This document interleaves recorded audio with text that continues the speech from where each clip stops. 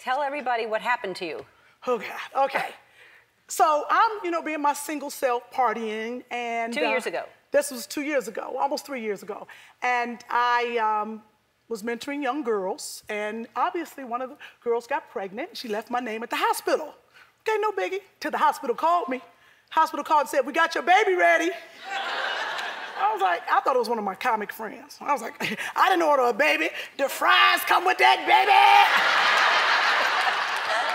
I hung up. But you know, county workers, you know, they don't have a sense of humor.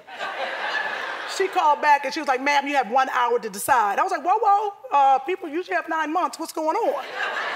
and luckily, my parents were there and my mother looked at me and uh, she was like, you've always wanted a baby. She was like, you're 87 years old.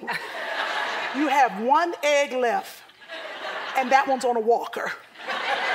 She's like, go get that baby. So there it is. Can you I'm... imagine getting a call and you have an hour to decide if you're going to take a baby or let it go into the system, and she took the baby? That is amazing.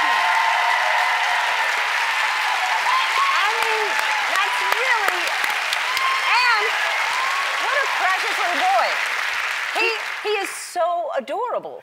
Uh, he is. Uh, he is really a gift, and you know how things change your life uh, because I was too busy dating young boys. I didn't know I had to raise one. Uh-huh. And, but he really changed my life. He, he did. I've become really focused. Um, I've uh, actually uh, started working out very little. Um, because I didn't know that kids run. Uh. You know, he started walking, he was crawling, walking. I was like, that's cute. But being an older mom, I mean, he like took off and a little chubby mom, it was very difficult to catch him. Uh-huh. So I've come up with a thing to keep him alive. Uh-huh. We play a game called Freeze. Uh-huh. he thinks it's a game. He uh-huh. doesn't know that car is about to hit him. Uh-huh. and that you can't catch him. So, and there is, you, you call them the village, and we saw a couple of them in that clip there. Yeah. Um, so let's show a picture of all the people that are helping you raise this boy. It's so sweet that you've got this group of people that are helping you? Yeah, well, I had to. I had to. I'm like an enigma with a kid. That's how we got the show. Um, people didn't understand, and I, I, I didn't know it was so difficult. So my village, they're like my superheroes. I, I call them the other parent. So they are the ones that are helping me and signed a contract with me that they will help me raise this baby for the rest of his life.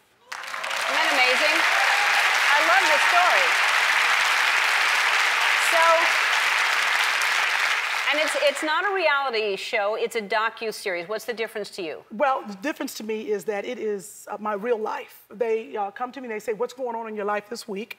And that's what we're going to shoot. And and that's it. There's no producing because my life is absolutely crazy. So that's how it works out. And please, every Saturday at nine o'clock on OWN, it has been a fantastic journey. It is showing other single moms how to build their village and ask for help. Yeah. So, and I was wondering, did you want to be in the village? We need a little diversity. Yeah. I mean, it's, it's kind of chic now, you know, uh, you and Portia walking around We're with a little black. We're out of time. I cannot answer that right now. Um, oh, I, uh, I'd like to meet him. I, I have two nieces that, I, that I'm busy with, but, um, but he's precious, and I would love to meet him. Is he here? No, we no. didn't bring him. I didn't uh, want him to tear up well, his set. Bring him out.